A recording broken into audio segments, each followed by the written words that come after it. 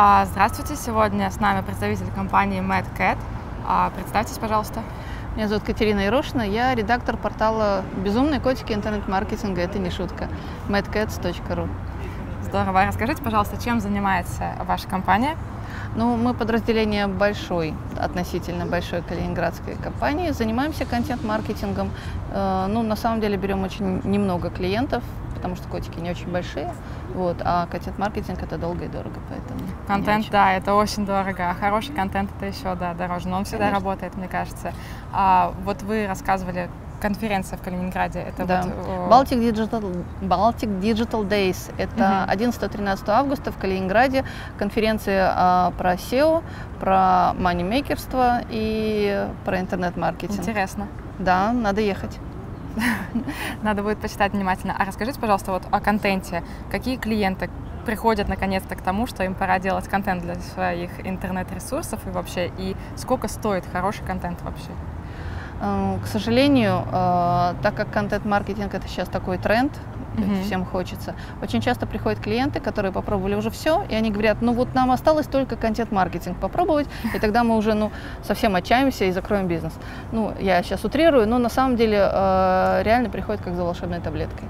Это не очень правильно на самом деле. Ну да, То есть контент-маркетинг история длинная, история, требующая соучастия клиента. это сто процентов. А, вот. И, в общем-то, по шаблону его делать практически невозможно. Ну, только если инхаус. То есть инхаус Мгм. там уже можно как бы э, варьировать, искать более дешевые способы и так далее. Но это не про нас, потому что А какие бюджеты вот на контент-маркетинг, допустим, а, разработка какой-то контентной стратегии на год для какого-нибудь, не знаю, бренда, который занимается одеждой женской? Ну, во-первых, разработка контент-стратегии – это ничего, потому что потом кому-то надо будет это делать. Поэтому э, это скорее услуга, которая дает зарабатывать э, консультантам, но, Мгм. но без, Ну вот сколько без у вас под внедрения ключ это не стоит? дает. Вот что-то такое, средний чек.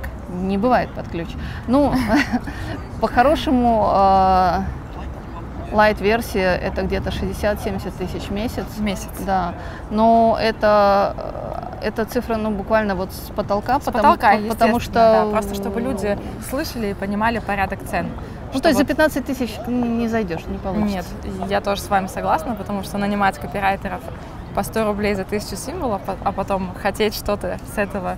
Ну, если еще получить. послушать Ильяхова, он вам вообще расскажет, что нужно в каждую компанию нанять собственного редактора, который будет все верстать, э, собирать, продюсировать и так далее. И на самом деле это самый, наверное, правильный путь, но он очень Но экстенсивный. этот человек должен Это- погружен быть в эту отрасль, болеть за нее, и тогда он эффективен. А если... А, Вот у меня ситуация. есть такое ощущение, что контент-маркетинг это как раз вот об этом. Вот я тоже так думаю. Так, а все занимаемся контентом на своих сайтах, не SMM, не рекламой, а сначала контентом, а потом, потом всем остальным, да.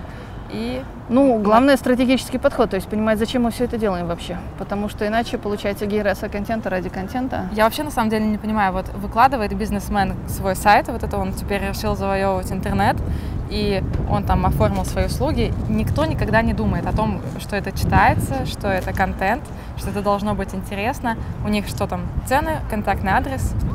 Ну, это тоже должно быть, по крайней Ну, мере, это это, понятно, площадка, да. на которую можно привести кого-то и, Да. и хотя бы какой-то ответ можно получить.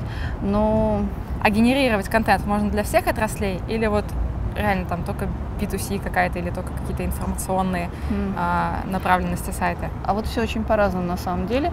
Э, Я, ну, сейчас практически я у меня основной голос, когда я говорю, берем мы проект или нет. И, например, интернет-магазины, особенно а, мелкой розницы, либо слишком а, с широким ассортиментом, просто не имеет смысла брать, потому что, Не имеет, да. ну, он, представьте, сколько какого контента нужно произвести. Описаний Да. всех однотипных, да, А, а потом вот это товаров. вот продвижение, это же на- начать снимать ролики, а если у вас 50 категорий, Мгм. а, то начинается как бы все это.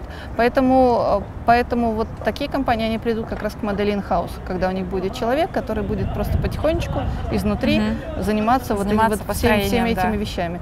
Вот. Ну, а есть компании, которым показан контент-маркетинг и нормально на, отдать на аутсорс, то есть заказать где-то, Мгм. потому что, ну, э, вот одна из типичных моделей, которая сейчас э, случается довольно часто, это когда компания делала контент, у них все получалось. То есть вот нам, к нам приходят с историями, что мы писали статьи, у нас все получалось, мы выкладывали на Хабре, мы э, постили как бы, в другие отраслевые издания, все было здорово, но у нас реально нет времени этим заниматься. То есть э, люди бизнеса до, должны вам. делать бизнес, и они приходят с запросом не то, чтобы мы не знаем, что делать, мы знаем, что делать, но нам нужны руки, нам нужны головы, чтобы это делать.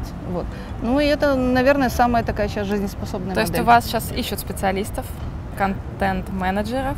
Ну вот к нам идут вот за дополнительными руками и головами, то есть за, угу. за писателями, за теми, кто это будет оформлять, постить и что-то вот это вот. У нас просто есть а, на базе нашего IT-СМИ есть а, портал, который делает бесплатные видеоуроки, вообще не коммерческие. Там есть уроки так, по надо, надо прийти по к вам. Да. И также есть а, школа, где мы занимаемся онлайн-образованием уже на коммерческой основе. Там есть курсы маркетологов, SEO, SMM-щиков. Mm-hmm. И mm-hmm. вот, ну, многие, на самом деле, из этих специалистов не умеют писать, не знают, что это такое. И вот, на самом деле, если бы вы прочитали какой-то урок, вообще было бы очень круто про то, как ну... правильно выстраивать контент. Можно будет с вами? Ну, напишите мне в Фейсбуке, что да. мы придумаем. Хорошо, спасибо вам за интервью. Спасибо вам. Да.